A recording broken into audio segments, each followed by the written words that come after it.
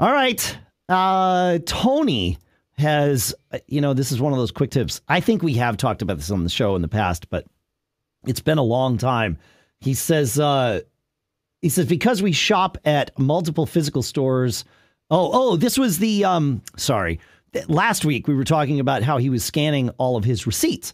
A follow up to that is he says, I've made another folder where I've scanned important pages from appliance and gadget manuals, and I've scanned those into a note because scanning into notes is now so easy. I can't agree more.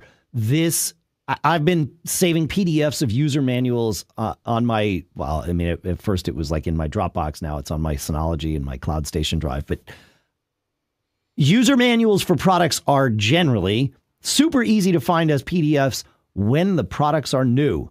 But when you need them is usually about eight years later when the product's been, you know, revved three times and you cannot find them other than those shady user manual PDF sites that are a super pain to navigate through. So anytime we get something new, I try to remember to go in and find the user manual and just save it and name it the what I would call the appliance. So, you know, like LG washing machine or something so that I know, yeah, that's my LG washing machine. And I can go in and great. I've got the user manual as a PDF and it's always there.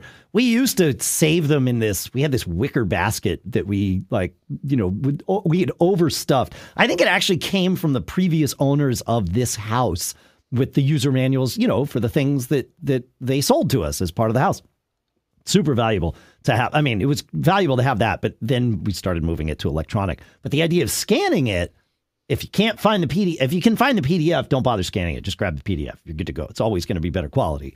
But uh, but if you have to scan it, Notes makes it easy. It's good. Is good. Thank you, Tony. Thank you. Thank you. Good stuff.